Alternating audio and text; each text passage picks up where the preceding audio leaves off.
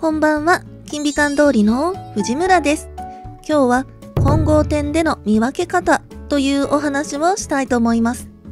電話相談の方で混合店での着用じゃない女の子の見分け方を知りたいですという質問をいただいて、きっとこれは気になっている方も多いかと思うので、今回動画にすることにしました。ただ内容的にちょっと広告は難しいかと思うので、さらっと短めにご説明しますね。以前、専属4丁目と堀之内ってどう違うの？という動画でお話ししたように、堀之内は着用店が基本なんですが、専属4丁目は割と非着用のお店も多いです。それで完全非着用店といって、在籍の子みんながつけない対応のお店と、混合店といって絶対につける子とつけない対応のできる子が両方在籍しているお店。それから完全着用店といって在籍の子全員が着用のお店に分かれています。でもそんなことはお店のホームページには書けないのでパッと見ではどれがどのお店かなんてわからないんですね。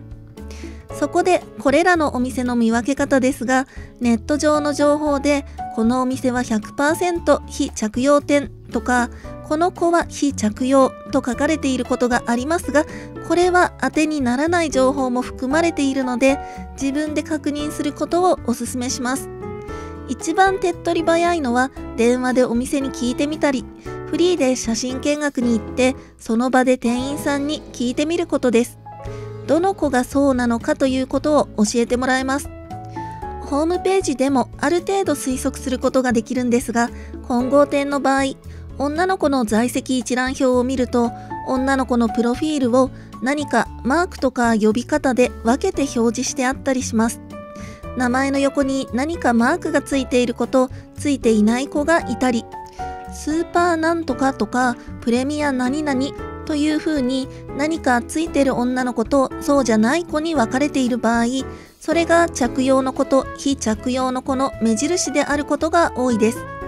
ただこれもそうじゃない場合もあるかもしれないのでそのマークの意味についても一度自分で店員さんに確認はしておいた方がいいです。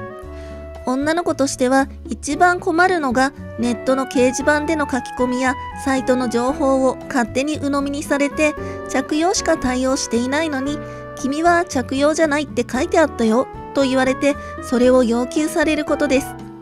そこで違いますと言うとその場の空気が悪くなったりお客様の機嫌が悪くなったりすることがあるんですが自分の日記やお店の公式サイトが発信している以外の情報にまで全く責任は持てません。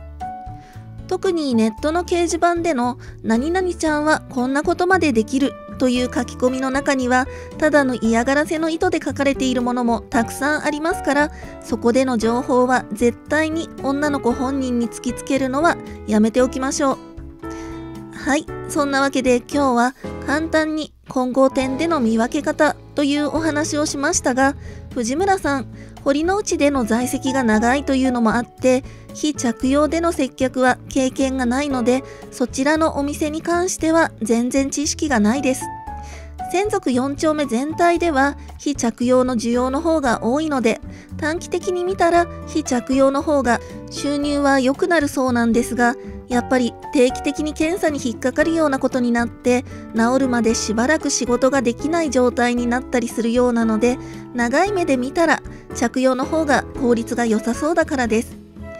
それからこれは個人的な理由なんですが恋人とするようなことを仕事で一通りやっていた自分にとって恋人とお仕事での行為をはっきり分けるのが自分にとってはこの1枚の薄いゴムなんですね。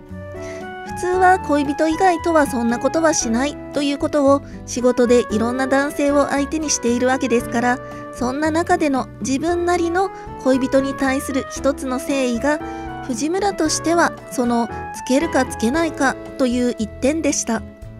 以前夜食の女の子はみんなそれぞれにお金のためとはいえ自分はここまでするこれ以上はしないという線引きが一人一人違うというお話をしましたがここが藤村の線引きだったんですね。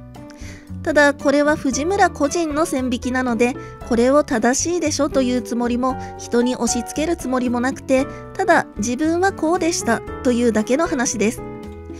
お客様側も定期的に非着用でお遊びをするなら自覚症状がなかったとしても時々検査に行って安心を買っておいていただくと女の子からの信頼も上がってより仲良く楽しめるかと思います